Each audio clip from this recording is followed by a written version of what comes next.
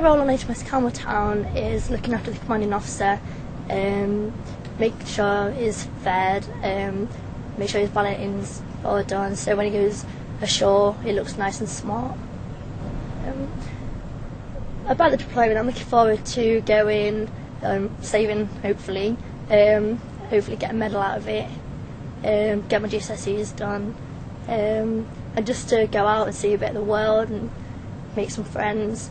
Um, I am a little nervous because obviously my first deployment and I do miss my family and my boyfriend back home. So, but just go with it and see how it goes. Really, I'm looking forward to um, well the monkeys in Gibraltar. I've been told that are really good. Um, I've put my name down for the rock run. I'm not sure I'm going to be running it, but I'll take part. I believe that's take part counts. Um, but just seeing like a different part of the world and seeing what how different it is to being in England sort of thing and the lifestyle really.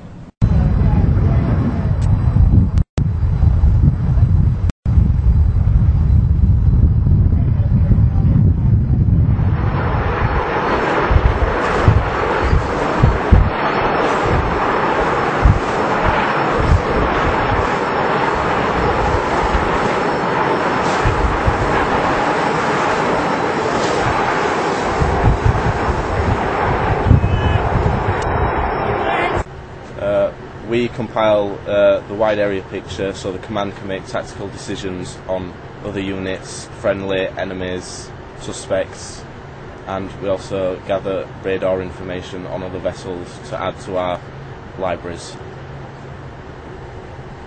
And what, what are you particularly looking forward to with regard to your role in this deployment? Uh, we we are like we are the main branch for all the intelligence sourcing, so we will be the first point of contact for everyone else on the ship what they need to know. So, on a personal level, what are you what are you most looking forward to in the forthcoming deployment? In our deployment, we've got uh, many stops coming up. In, was- in one of them, which will be Dubai, which my partner will be coming out to see me in, who I haven't seen in a few months. Basically, my role is as the ship's office supervisor. I deal with all the pay and accounts of 250 personnel and supervise the staff in the office uh, directly under the PO logs, who basically deals with all the cash. Um, I just do the day-to-day running of the actual cash accounts and the registry system as well for all the packs and files and letters that come through the ship's office. I'm looking forward to seeing a lot more. I've been to the golf a time before, um, and it was interesting, but I didn't see, being young, I didn't see what I wanted to see. Um, this time I want to go and see more sites, uh, curated towers, that sort of thing. Um, just go out really and you know, have a good time. Well, my role on board is a weapons engineer. Um, I work with the Harpoon anti-ship missile system. Um, I also work with gyros, which is basically GPS uh, for the ship.